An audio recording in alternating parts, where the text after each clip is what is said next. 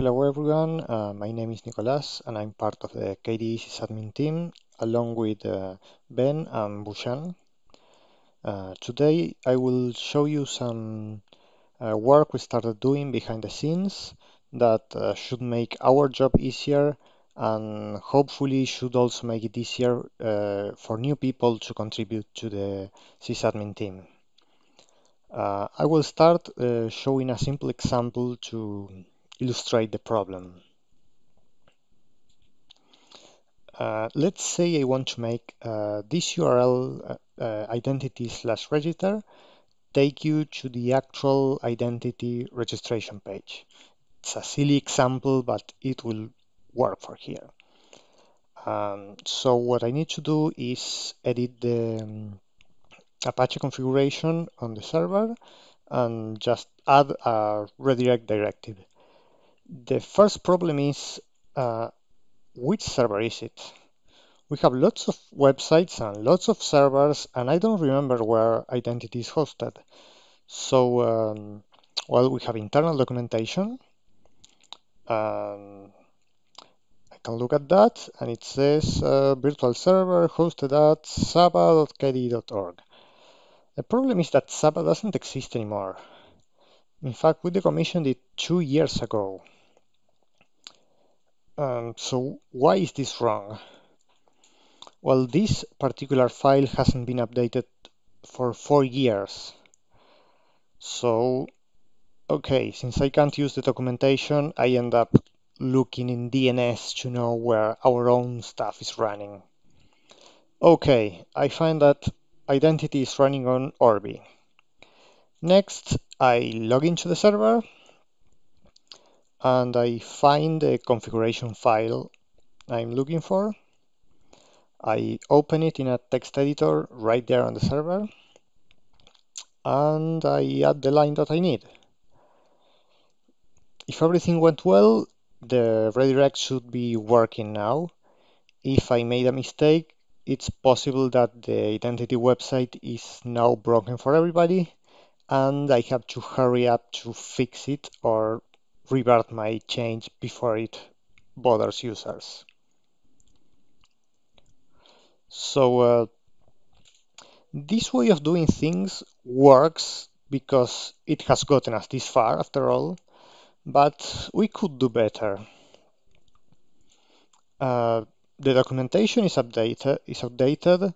Uh, the configuration files are not in version control, so we can't track changes we have no record of who did what. Uh, somebody could find that redirect and not know since when is this here. Uh, instead, we just make the changes directly in the production servers. Um, if, something goes wrong, it would affect users immediately. And it's also quite hard to test uh, changes locally because it's hard to get a local uh, development environment for this. So how do we fix all this? Well, to start with the documentation, uh, we decided to start from scratch pretty much.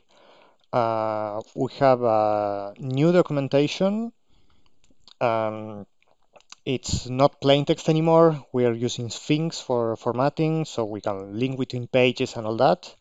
Uh, we try to have uh, more explanations of how of how the server is set up instead of just a bullet list of uh, what's installed where. Uh, this is still a work in progress. We have a lot more to do. There are a lot of things that we need to document.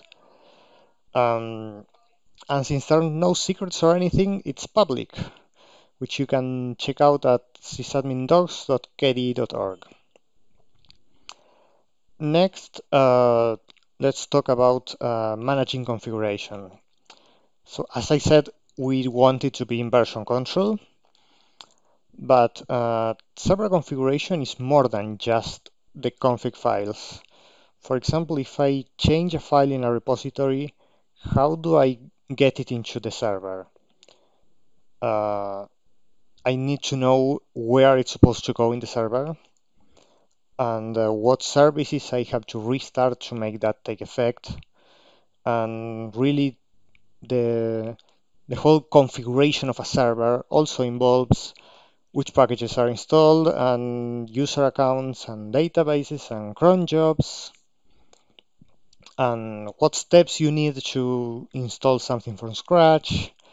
So in order to deal with all this, uh, there are tools called configuration managers, which do a lot of automation around uh, these issues.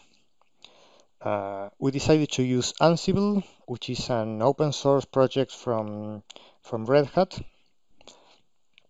Um, this is an example uh, of, a, of an Ansible file. Uh, it, it lists tasks that you would execute on the server. If I run this on a new server, it would uh, install Apache, it would enable the SSL module, and install this file. If I run it again, it, it knows that Apache is already installed, so it will do nothing. It knows that the module is already enabled, so it will do nothing. It just says no changes. And also, if I uh, change this configuration file and run it again, it will update the file and it will restart Apache. So that's another step I don't need to worry about uh, doing manually. Once I have all of this, I can put all of it on, in, a, in a Git repository. And now I can track it just like source code.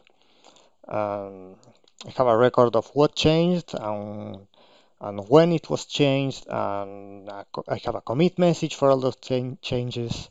Can use git blame. Um, now, if I if if I get the Ansible uh, the Ansible playbooks so complete that they can install uh, a website or a service from scratch, I could also run it in a virtual machine. And that would get me a local development environment, so now I can test things locally. The problem is that it takes a lot of steps to set up such a virtual machine uh, you have to set, configure the network and SSH and your SSH key and uh, all sorts of small annoying steps. So for this, we have another tool called Vagrant, which uh, automates uh, virtualization software like VirtualBox and makes it much easier to create uh, development uh, virtual machines you can just run one command and it will download a pre-installed disk image, or in this case it's Ubuntu. It will start the virtual machine, set up the network, set up SSH, and uh, it will be ready to run Ansible on it. And it will also run Ansible for you.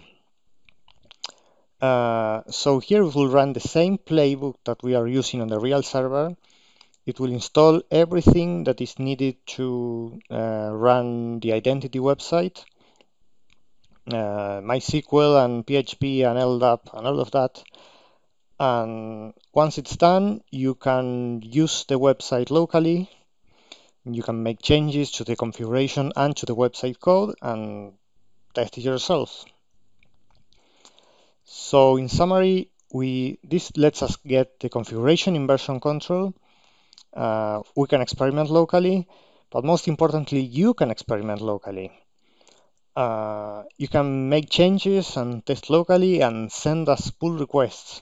So this way you can contribute to the sysadmin team uh, without needing access to the real servers.